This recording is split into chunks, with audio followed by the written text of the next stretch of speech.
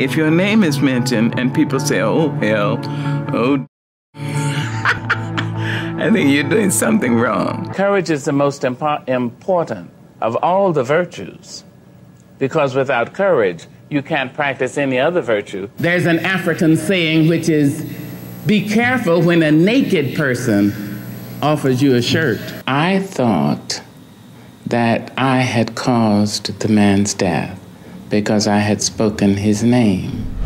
She was an American poet and civil rights activist. She's best known for her series of seven autobiographies which focuses on her childhood and early adult experiences. She was respected as a spokesperson for black people and women, and her works were considered as a defense of black culture. She's Maya Angelou, and here's my take on her top 10 rules for success. Rule number one was my personal favorite, and make sure to stick around all the way to the end for some special bonus clips. Also, as she's talking, if there's something she says that really resonates with you, please write it down in the comments and put quotes around it so that other people can be inspired as well.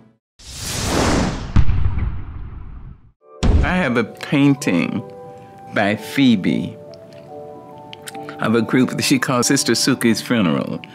And they all the women, there are about nine women, and they, they all look like women in my grandmother's uh, prayer meeting group. So whenever I'm obliged to do something, I take that painting and I look at that painting. There's an empty chair. And I think, now what would grandma do? What would she say? I can almost hear her voice say, Now, sister, you know what's right. Just do right. You don't really have to ask anybody. The truth is, right may not be expedient, it may not be profitable, but it will satisfy your soul. Brings you the kind of protection that bodyguards can't give you. Try to be all you can be, to be the best human being you can be. Try to be that in your church, in your temple. Try to be that in your classroom. Do it because it is right to do. You see, people will know you, and they will add their prayers to your life they'll wish you well.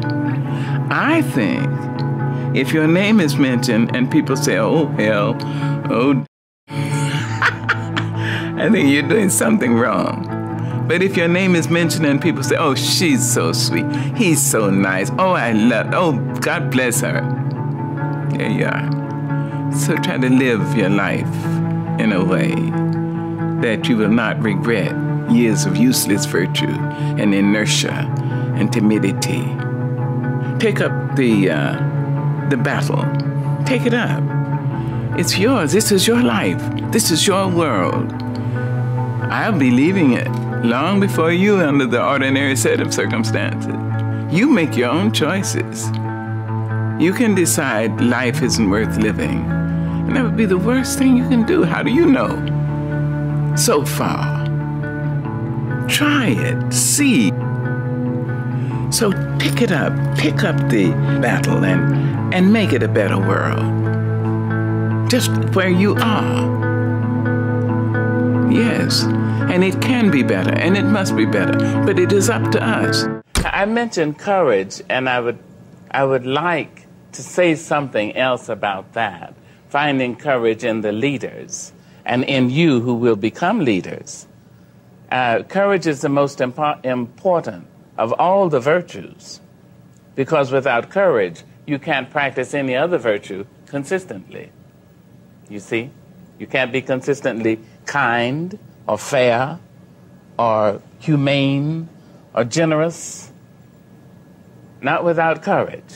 Because if you don't have it, sooner or later you'll stop and say, ah, the threat is too much, the, the difficulty is too, too high, the, the challenge is, is too great. You know, I believe that self love is very important. If you read my work, you know I'm always talking about loving oneself. I never trust anybody who tells me he or she loves me if the person doesn't love herself or himself. There's an African saying which is be careful when a naked person offers you a shirt. I mean, if he had something, he'd cover himself first, right? So I like to look at self love. It is very important that it comes from within, that you have a sense of yourself, so that when you walk into an office, you don't go alone. Bring your people with you. Bring everybody who has loved you with you. Say, Grandma, come on, let's go. Great grandpa, you've been dead all this time. Come on, let's go. I have to go in here and, and have an interview. Come on, Auntie. Come on, my friends. Come, let's go. And when you walk in, people don't know what it is about you. They can't take their eyes off you. You may not be cute in the given sense. You may not be fashion model size in that particular sense. You may not be any of those things, but they can't take their eyes off you. And they say of you, uh, in, a, in this incredible way, which I don't understand. They say, I don't know, but she has charisma. No, what you have is all those people around you. so think of that. Anytime you have anything to do, bring everybody with you that you can remember who has loved you. And then you have that sense of having been paid for. And when you walk in, people will say, Now, I think you're overqualified. If, if you don't laugh, you will die. You know, you really must laugh. And if, if every human being in the world would admit it, he or she is the funniest person you've ever met. And the truth is, I mean, some people just rather be a little stodgy and boring and, you know. But the truth is, they themselves know that they're very funny.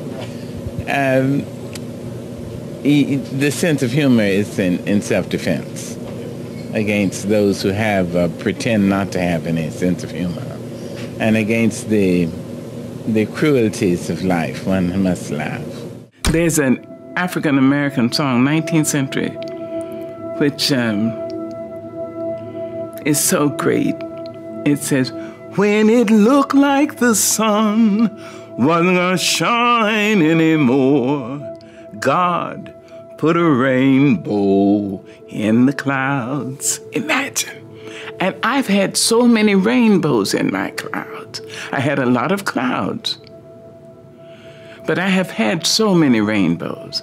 And one of the things I do when I step up on a stage, when I stand up to translate, when I go to teach my classes, when I go to direct a movie, I bring everyone who has ever been kind to me with me.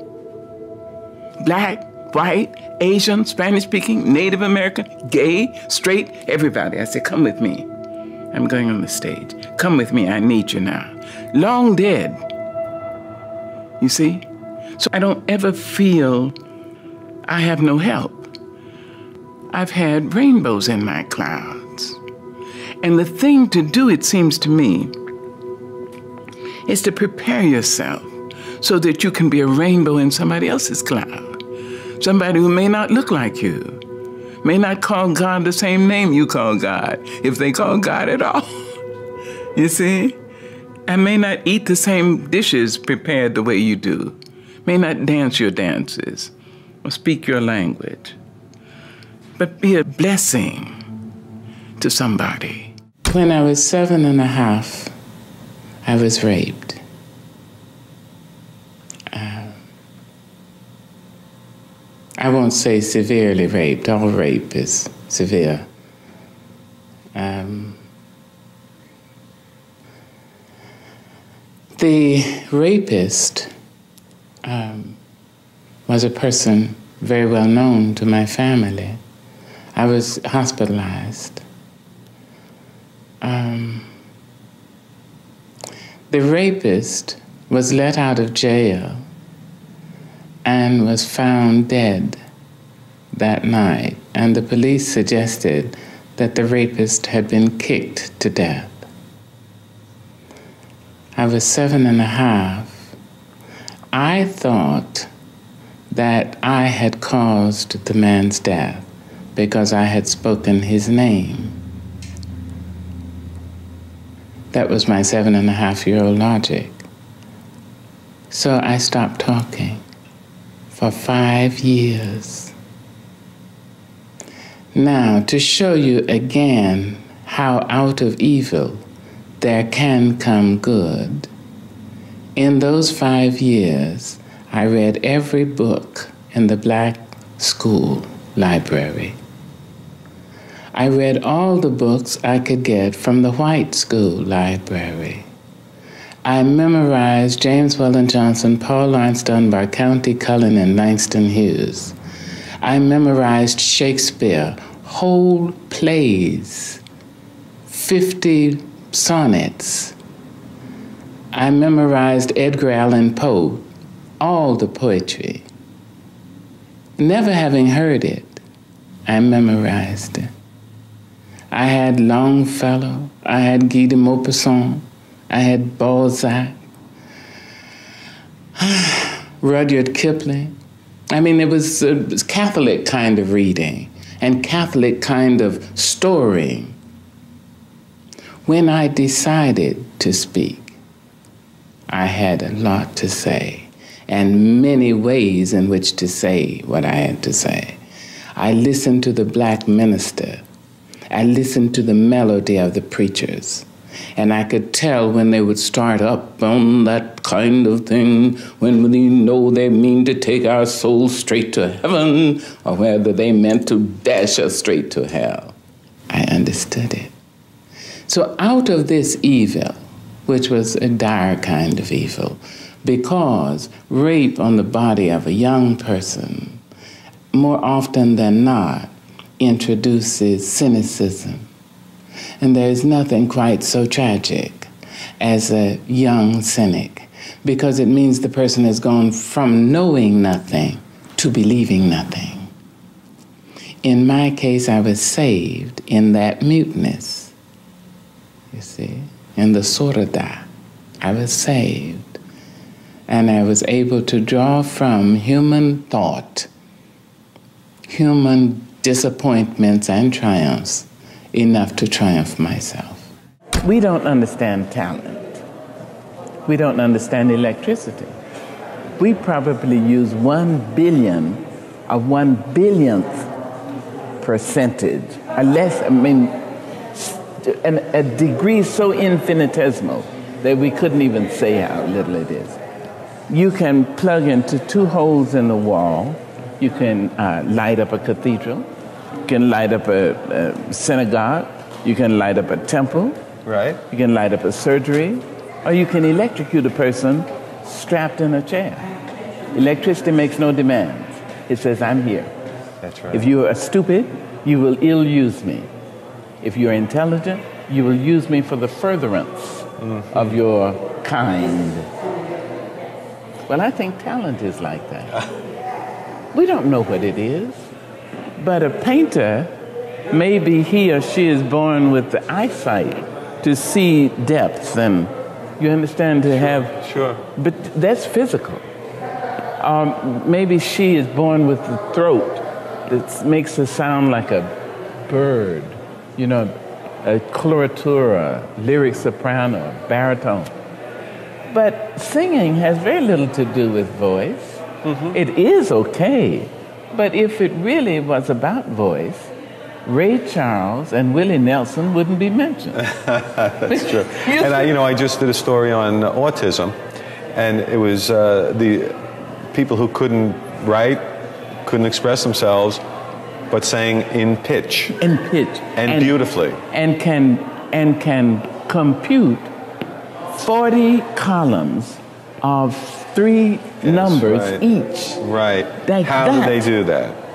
That's talent. That's talent. I don't know it. I mean, I, I thank God I have it, but I think every person born is born with talent. There's a place in you that you must keep inviolate. You must keep it pristine, clean, so that nobody has the right to curse you or treat you badly. Nobody, no mother, father, no wife, no husband, no nobody. Because that may be the place you go to when you meet God. You have to have a place where that you say, stop it, back up. Not you must you not know. No. Absolutely. And that's one I told you 25 years ago. Yes. Say no when it's no. Yeah. Say so. Back it up. Because that place has to remain clean and clear. And that has to be a place within yourself. Yes, ma'am. Yeah. When you're writing poetry, are you writing to express your experiences or do you write to inspire other people? No, I write to to try to say what I see, what I've seen. And of course I hope that it's inspirational. When you were writing Phenomenal Woman, did you realize how many millions of women would be inspired by that? No, I don't realize any of that. I just, I just do the best I can. You may write me down in history with your bitter, twisted lies.